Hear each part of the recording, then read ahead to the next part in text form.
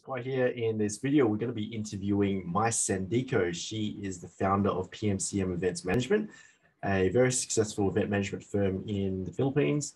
And she's also the host of her growing uh, TV show, which is called The MySpace Show. So let's go check it out.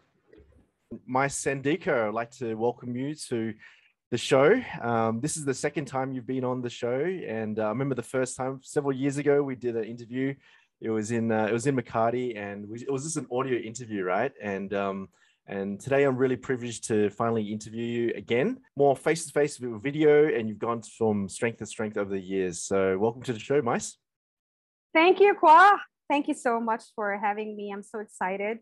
I'm so excited, and um, this is the video version of the audio, the very first one. Thanks for having me. And um, I'm so happy to see you once again online. Mm. And I'm so, so proud of you. Yep. awesome. Awesome. Cool. Um, all right. So, uh, for those who don't know uh, who you are and your background, uh, before we get into how you built your business and built your your amazing um, online show and, and all the amazing projects that you're working on, before everything, uh, I remember that you went to Dubai, right? You went to Dubai and you started working in sales. Is that right? Yeah, that's right. Um, cool. I went to Dubai um, several years ago, many months ago. yeah. I, I went there um, as an executive assistant to the CEO first. That was my first job. And then I went to Ras Al Khaimah, one of the Emirates of United Arab Emirates. So I worked in RAK Ceramics, one of the largest ceramic tile brand global and in the UAE. And I work as an executive assistant to the CEO. So just imagine 15,000 employees. And wow. I work directly to the CEO, but it's just a few months. And then I transferred to sales and marketing job in Dubai. So um, I worked in one of the largest um, exhibit booth installer, designer um, in Dubai in Sheikh Zayed Road. So that's about more than two years. That's where I really enjoyed um, doing events because I met a lot of people and also I'm handling some accounts in the Middle East and Southeast Asia. Uh, we're designing and installing their exhibit booth and they're participating in the exhibit or exhibition or conference expo in the World Trade Center in Dubai. So that's where the e-commerce hub of Dubai. So yeah, um, that's more than two years. Um, I work with a lot of Filipinos and other nationalities as well in the company. That's called Top Gear Promotions. Basically, I'm handling sales and marketing for, mm. for the company.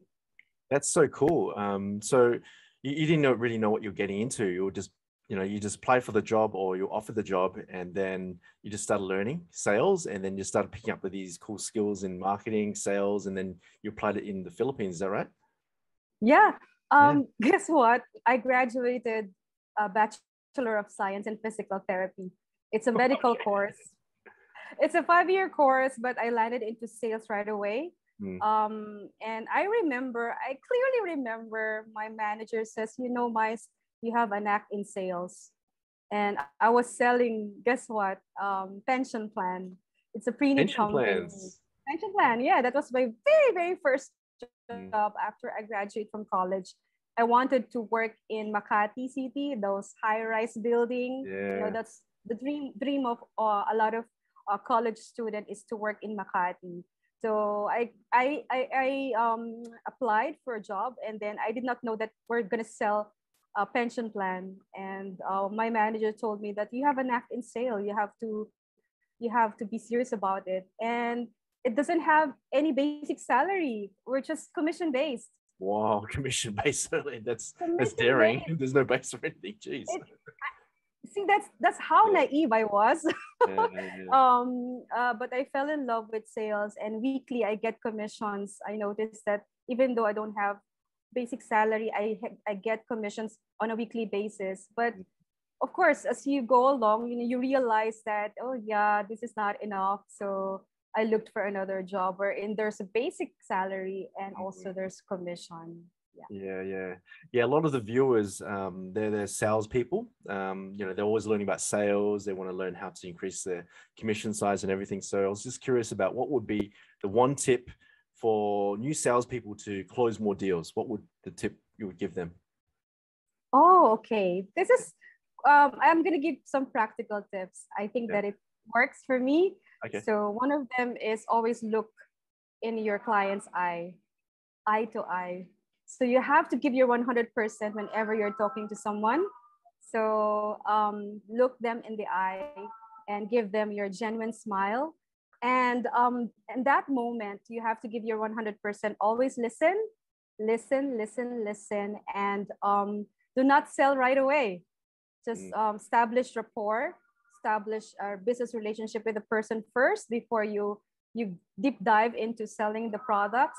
I think that that really works for me. And uh, of course, you have to be on time. You have to be punctual. You have, if you say um, the meeting is at two o'clock or three o'clock, you have to be there 10 minutes or 15 minutes before the time. Mm. Um, also, you have to be prepared. You have to be prepared. Um, always, always assume that the client will ask for a discount.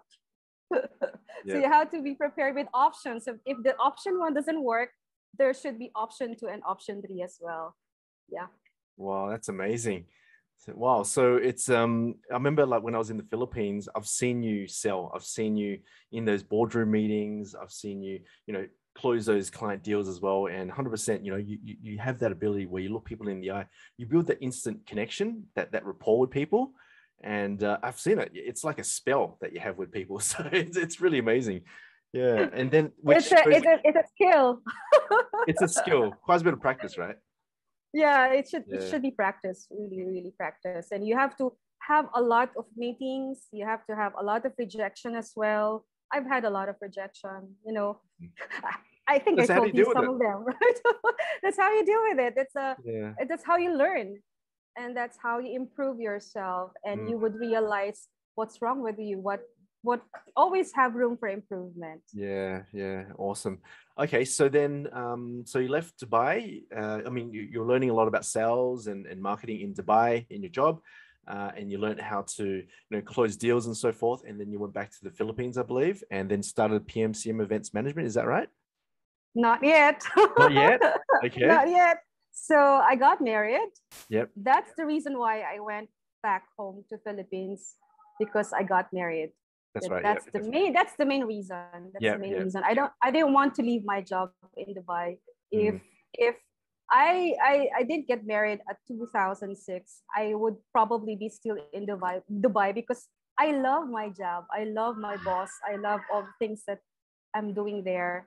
And uh, I got home to get married, and then I did not go back to Dubai because I want to be with my husband. So mm. we put up our own business that's the laundry and water shop. So that's, oh, that's right. Yep. Mm. Yep. Uh, it's in Sampaloc, Manila. And um, that's about five years, almost five years. But then mm. I asked my husband, this is not what I wanted to do. I wanted to have my own events company. So I asked Chris permission if I could, you know, leave the, the business behind because I worked I worked on the business for more, almost five years. And I guess I have brought a lot of clients, corporate clients. I remember Khoa, I would mm. go from one office to another without any appointment. And I would bring my proposal and I will tell them, please order uh, water gallons from me and I will give you free dispenser for one whole year. And mm. it worked. It worked. I, it's where I got my corporate clients just by walking in unannounced, no appointments at all. So unannounced, yes. And I remember this there's no Wi-Fi in my office. It's a very, very small Wi-Fi. And what I'm using is my fax machine. Fax machine, machine fax to, machine. to message people. To message to, people oh. and my yellow, yellow, yellow pages directory. So I have my landline, my fax machine, and my yellow pages since I don't have Wi-Fi in the office. And I would go to the internet cafe to print proposal, and after printing the proposal, I would go back to my office and fax them, you know, send all the proposals um, all together and I call them again. And I would go from one office to another and without any appointment. That's how I started the business. And then uh, after more than four years, I asked my husband, it's time for me to do what I really love. And that is handling events. So I started with corporate giveaways because you need corporate giveaways in events, especially on weddings and also on birthdays. Yes, that's mm. how I mm. started the events company. That's uh, that's really inspiring. Um, I mean, th- these days we got access to the internet. We've got you know facebook ads google ads and everything. We got the webinars but you actually built your business from a fax machine so and in a bedroom. Oh but yeah it's amazing. It's so inspiring. Uh, okay so uh, uh, uh, that goes to the next question. So i take it that's how you got your first few clients which was just sending you know fax messages door knocking just hardcore just hustling right? Just going out there and just knocking on doors and everything yeah? Crazy that's how I started pa. Um, okay. Believe it or not, that's how I started. wow. Okay, so um, so as you know, I mean, there's also tough times in business. There's people going through a lot of um, issues and in terms of uh, growing profits and getting leads and so forth. So, what advice would you give to someone who's having this issue going through tough times in in the business? What what advice would you give them? Well, tough times will always be there if you are an entrepreneur if you have your business, um, it's not always a bed of roses. And there will always be challenges and obstacles no matter what, even if you're working so hard. And sometimes life can be so unfair and unjust. Mm. But this is what I believe. If you're an entre- entrepreneur, I know you believe you have to believe in yourself and you know your talents, you know your skills, you know who you are, and you can bank on that um, no matter what happens, even if you don't have money, but if you have the talents and the skill and you're using it um, wisely, um, something something along the way will will you know be will prosper or will be successful. And a lot of business people also um, are, are always on the lookout on what kind of business ventures they would plunge into. And I'm like that. If ever this thing doesn't work, I would go to another business like during the pandemic, guess what? I was selling essentials. I was selling essentials like alcohols, face mask, face shield, using the Viber group in the community and also on online. And I was never ashamed of asking my friends, you know, I'm selling this face mask and I can customize it for you. I can put in your logo and they will order from me. And that's how I thrived during the lockdown.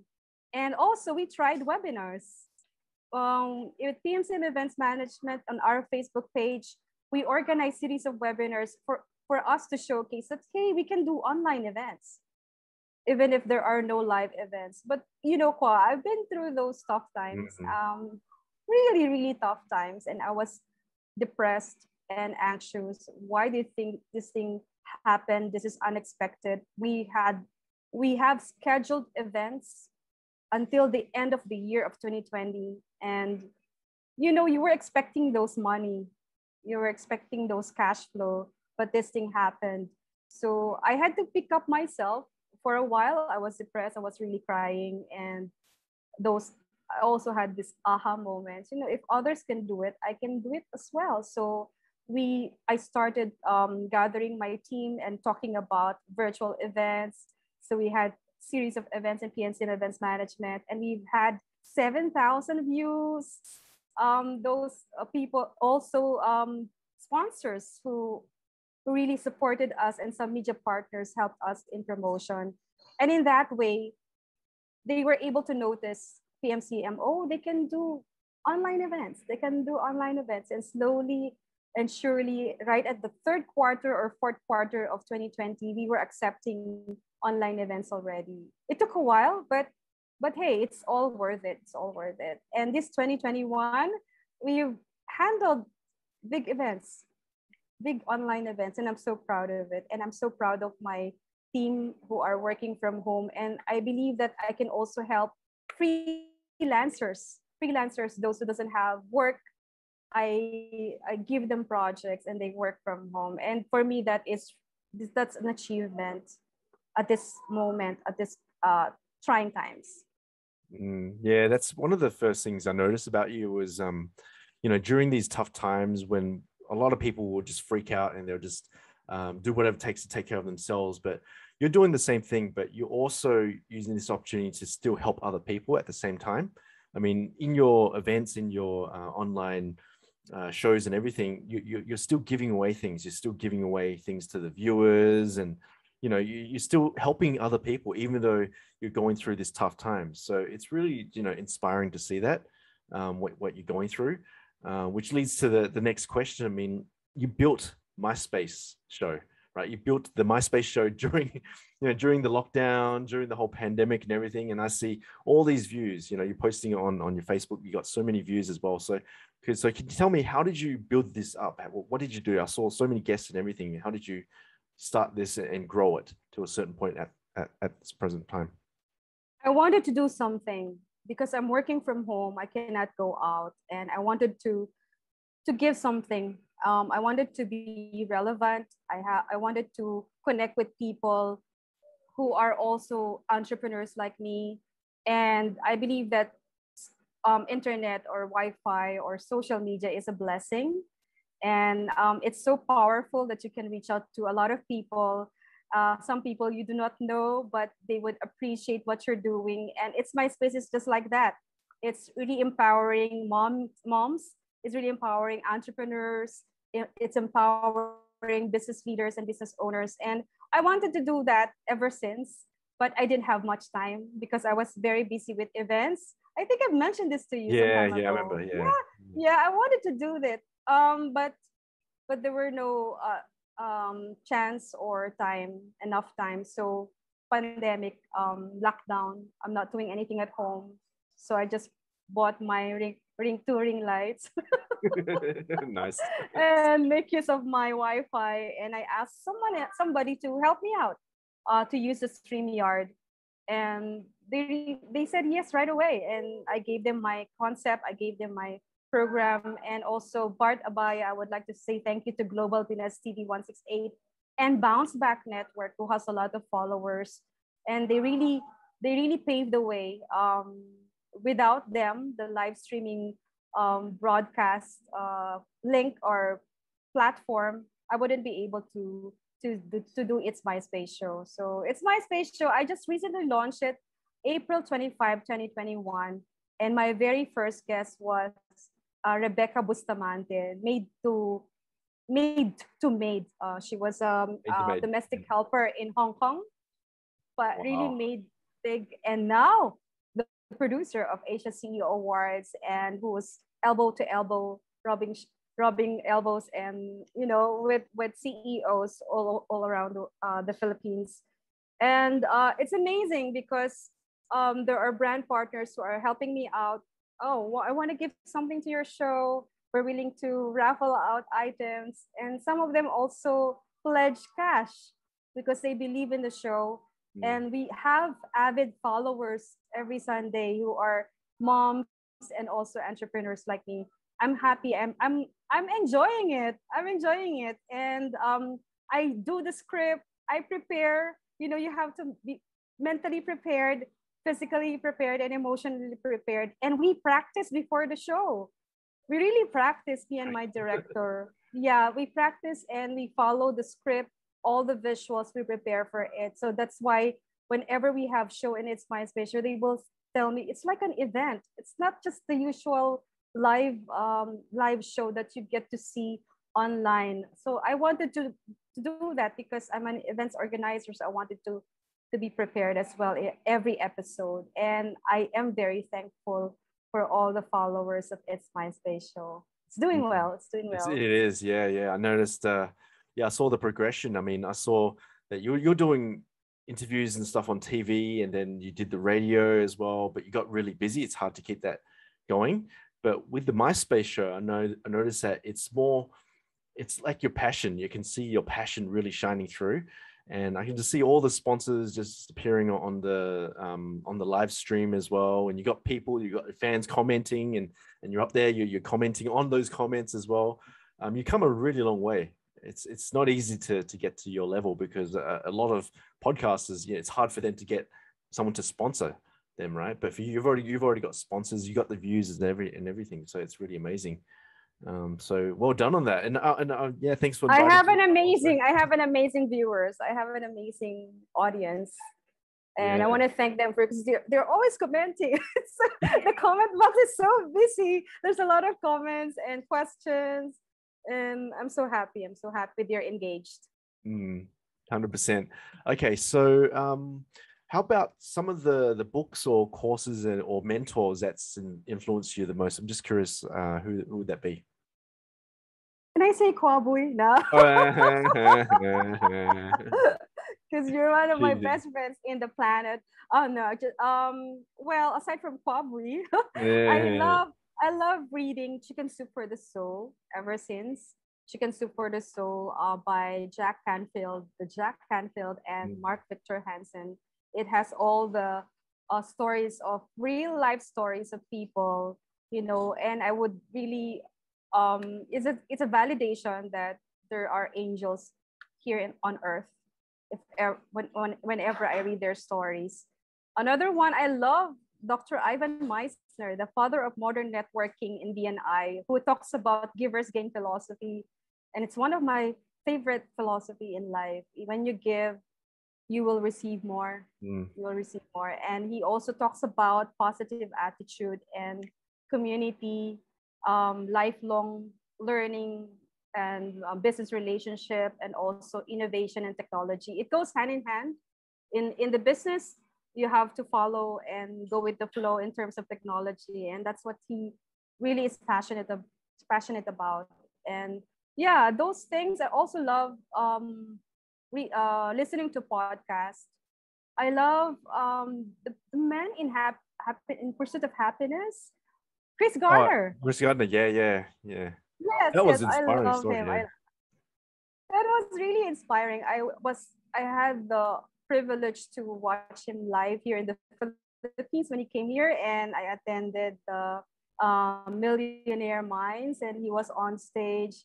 I would really cry just by just by hearing him talk, and is he's he's really inspiring. And there's a lot of there's a lot of people that I really uh, admire uh, local and abroad, of course. Mm-hmm.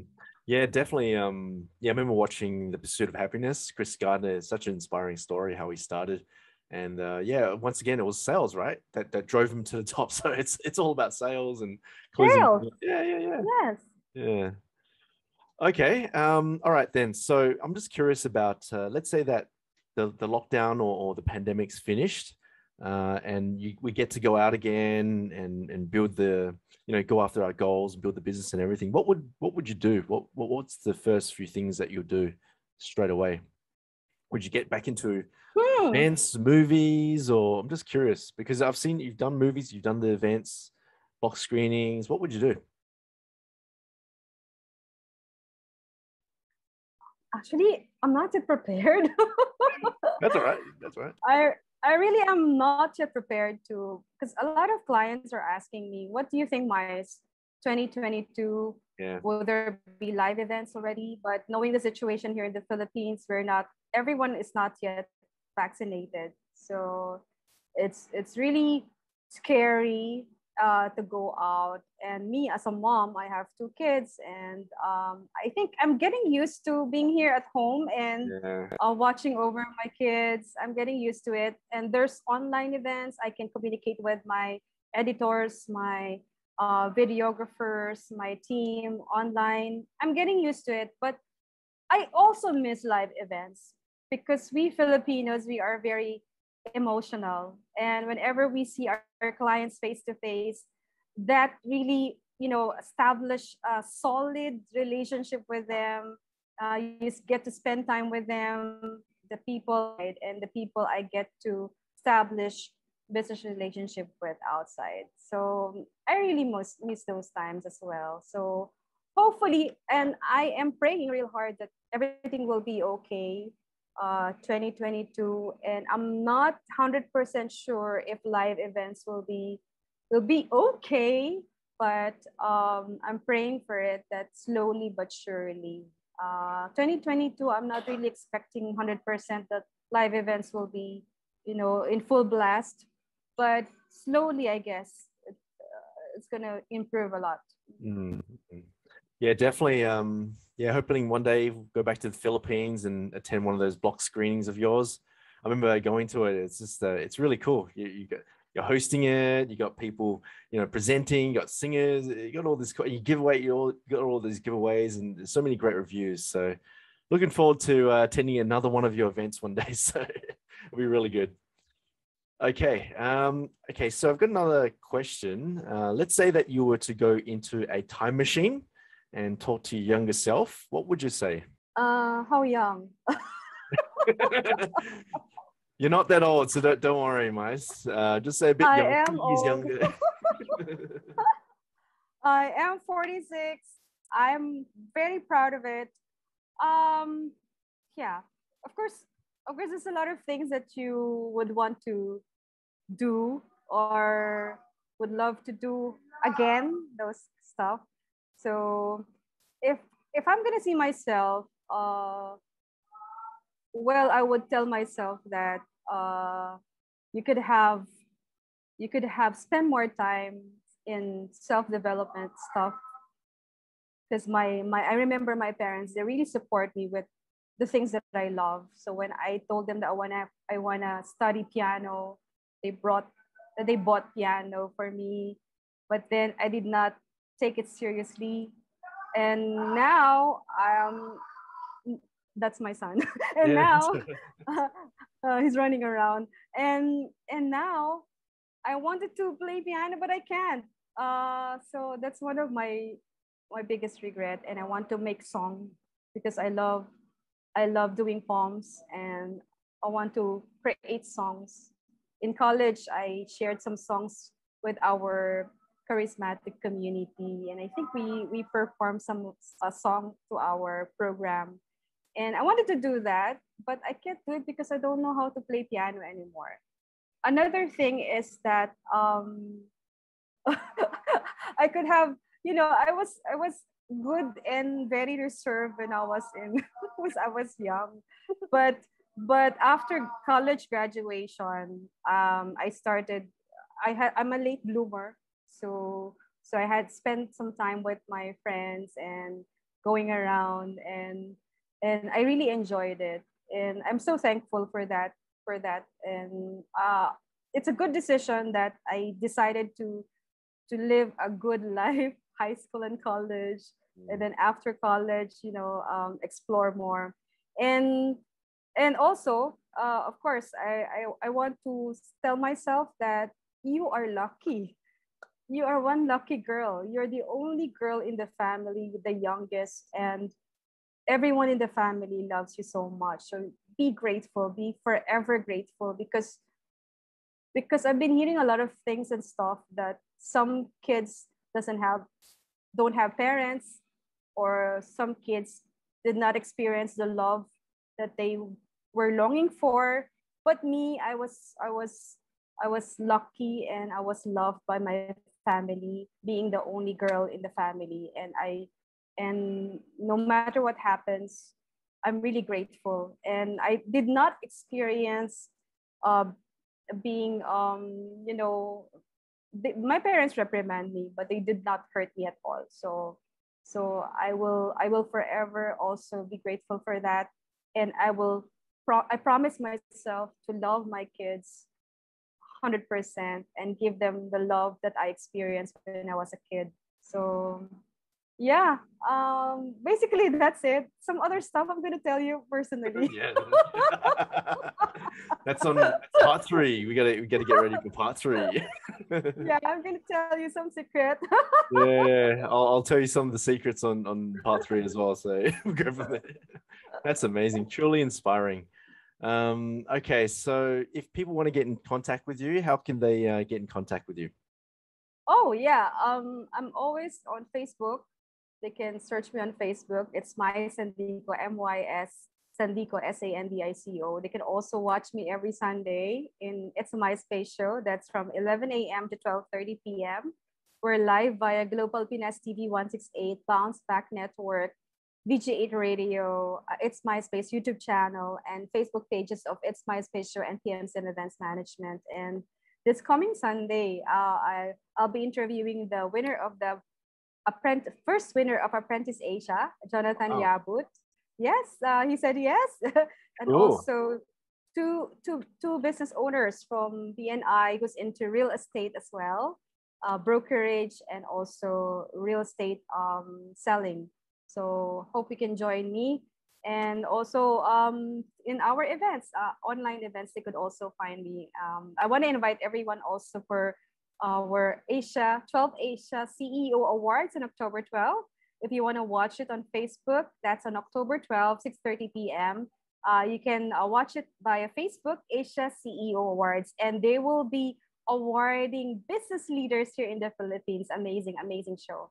Mm, awesome. And you're also open for international guests as well, international guests and, and business. Oh, yeah. yeah. Okay, awesome. Sure, yeah, we, we, sure. got a lot of um, yeah, I got a lot of uh, viewers and, and listeners uh, all over the world as well. So uh, I guess they'll just contact you through through your contact wow. link and everything. Yep, awesome. And Thanks, also to be guest on, on your show as well. So they'll contact you too. So awesome. Thank you. Thank you. No problems. Uh, More okay. power. More power. Well, hang on. I got one last question. Um, what about, hmm. One more question. question. Yeah. Ne- next few years, what do you see yourself in the next few years? Just curious. So that I'll, I'll be 50 then. wow, really? Still looking so young. Four years from now, I'd be 50. Oh my God. Jeez. Um, so how do I see myself two years from now?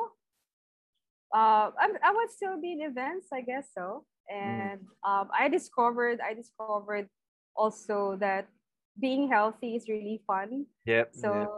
and I I'm enjoying brisk walking in the morning, light jogging, skipping rope, and also around the park and the village. And also it gives me time to, you know, meditate and also talk to God while doing brisk walking. So I will continue that.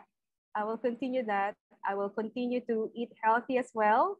I got rid of rice. I'm not eating rice anymore for five months now. Mm. And um, yeah, be I, I'll I'll be more positive and helpful, uh, and be sensitive with the people around me, and uh, be thankful for everything, because a lot of things, uh, not so good things, are happening around. And whenever I check Facebook, the post, if someone is posting really good and they're really trying their best to be good as well. I would like the post. I would send also a heart. And uh, sometimes I would comment because nowadays it's easy to be bad than to be good. So I would like to encourage people who are trying their best to be good and to change for the better. So I would love to do that for the rest of my life and also uh, grow old gracefully. doing things that I love. You know, that I love to sing, I love to dance, I love to spend time with family, I love to travel. So I hope I get to do those things for more years to come. Mm. Awesome. Love it. Mys, I really appreciate your time today. Um, you've definitely shared some really inspiring wisdom today. Um, I saw I saw you you know build up PMCM and you're thriving you're pivoting and you're doing all these other amazing things. You're growing once again. And uh, not only that you know you have that grace about you you still have that positive aura and you're still giving back to the community at the same time. So I really commend you on that. And uh, once again i really appreciate your time today. And uh, thanks for sharing your wisdom with us. And uh, we hope to see you soon. Thank you Khoa. Thank you Khoa. More power to you be relentless. Thank you. Awesome. Cheers